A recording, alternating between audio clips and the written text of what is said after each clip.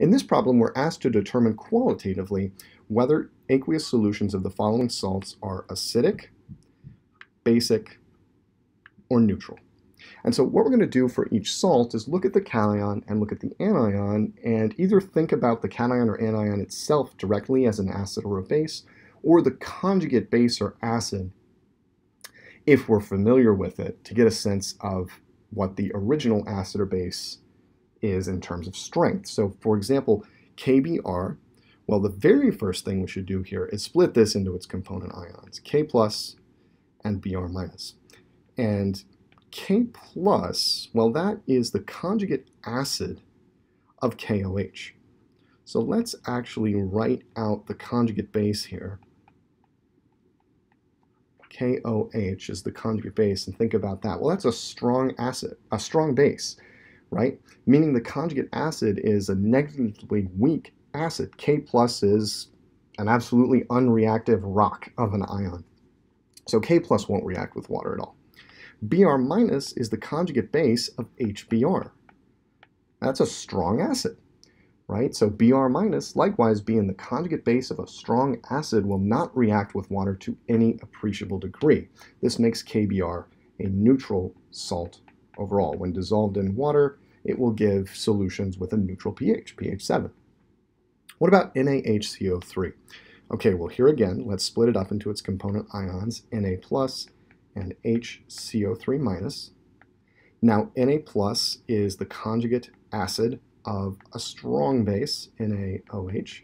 And so just like K plus really, this is an ion that's not going to react with water to any appreciable degree.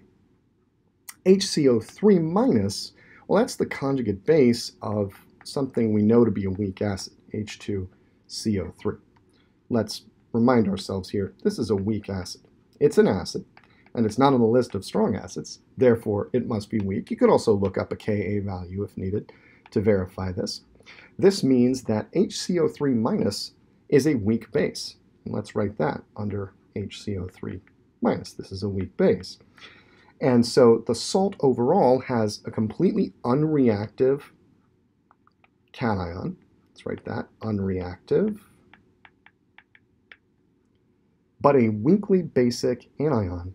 That makes the salt overall basic. Solutions of NaHCO3 in water will give basic pH values. Na2HPO4. Let's do the ion dance again, if you will. We have Na+, plus, and in fact, we already know that this is an unreactive cation, so I'm actually going to just copy this down, because why not, right?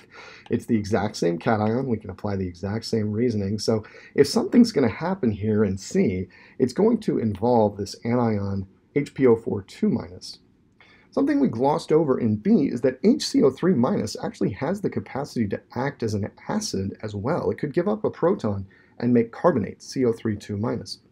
Here we have HPO4 2 minus, which has the capacity to lose a proton as well to make PO4 3 minus, the phosphate anion. This could also add a proton acting as a base to make H2 PO4 minus. So let's write out actually both of those possibilities. And so if this loses a proton, we would end up with PO4 3 minus. If this gains a proton, we would end up with H2 PO4 minus. And what actually dominates, the behavior that actually dominates here depends on the relative K values associated with these two processes, gaining a proton to make H2 PO4 minus and losing a proton to make PO4 3 minus. And in this particular case, it would be necessary to go look up the pKa values, in fact, for the salts that are uh, involved here.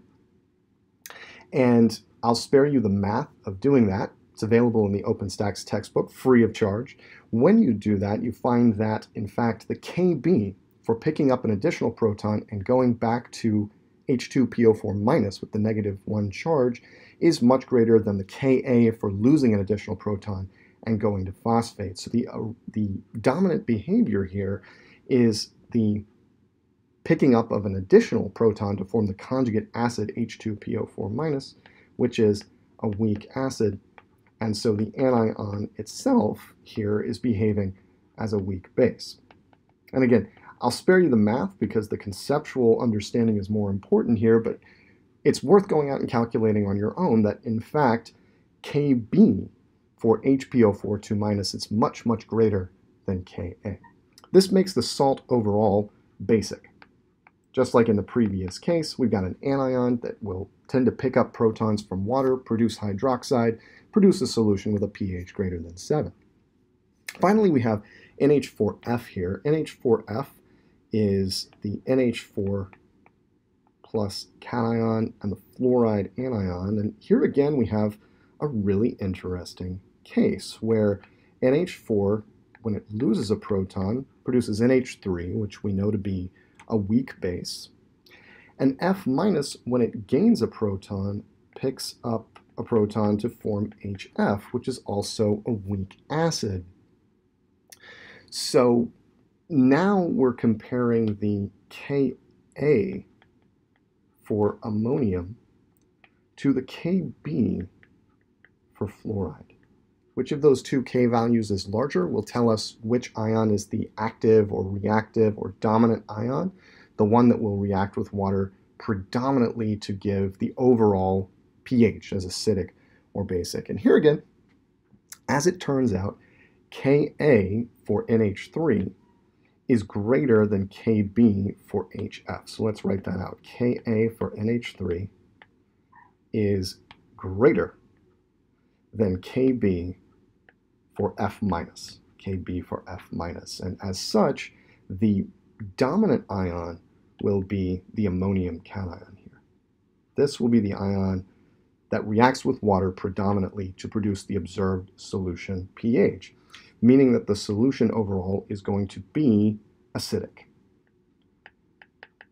with NH4 plus giving up protons to water to produce an excess of hydronium ion and a pH less than 7. So just to summarize, in each case, we first split up the ionic compound into its component ions.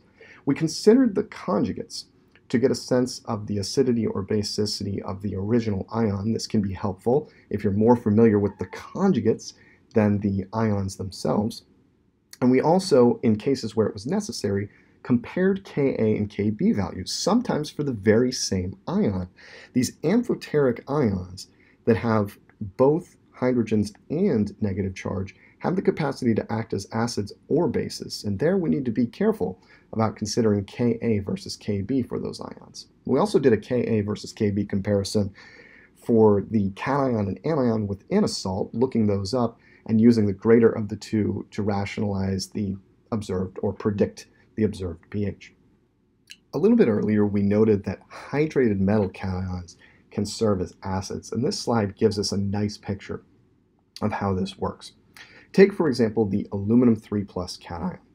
When that's dissolved in water, it's surrounded by water molecules, and a kind of archetypal picture of this is six water molecules in an octahedral arrangement around the aluminum center. That's what you're seeing right here. Now, these bonds, as we'll learn later when we talk about coordination chemistry, are really derived from water donating a pair of electrons to the metal center. The metal center does not contribute electrons to these bonds in any way. Let me draw this out here to make it a little bit clearer. What this does is it sort of siphons electron density away from the hydrogens attached to the oxygen in water. This makes these hydrogens relatively acidic. So for example, a separate water molecule could come along with a pair of electrons and pluck off a proton from this complex. When that happens, we've got the hydrated metal complex acting as an acid, giving up a proton, and we've got water acting as a base. And the resulting product you can see here is hydronium ion, as well as the conjugate base of the metal complex with a new hydroxide anion in there, derived from the water that lost a proton, and the remaining five waters still there. And notice that the charge has changed. We've gone from 3 plus overall to 2 plus overall as the complex has accepted an electron, an additional electron, and the positive charge has sort of shifted over to the water molecule in hydronium. And notice here, the Ka is actually pretty substantial. If you do a pKa calculation on this, you'll see that this is comparable to acetic acid in pKa. So these hydrated metal cations can be quite acidic in, uh, in water. Three other examples on this slide that are worth thinking about. And we can think about e the reaction of each of these with water to understand why and, and how they act as, as acids. And the key conceptual idea here is, again, that notion that coordination of a water molecule to a metal center is going to acidify the hydrogens in the water molecule and, and allow a separate water molecule to act as a base. So here, for example, with iron 3, we've actually already seen this one in an earlier video. The product we get is this iron hydroxide with five waters left with a charge of plus 2 and a hydronium ion in aqueous solution. In fact, we're going to get hydronium ions for all of these, and I'll go ahead and fill in the rest of the products in the remainder of this video and just make the point that you should be aware that hydrated metal cations can act as acids when dissolved in water. This is particularly prevalent for cations with charges that are large and positive, plus 2, plus 3, plus 4. These charges are so high that any coordinated water molecules often become quite acidic.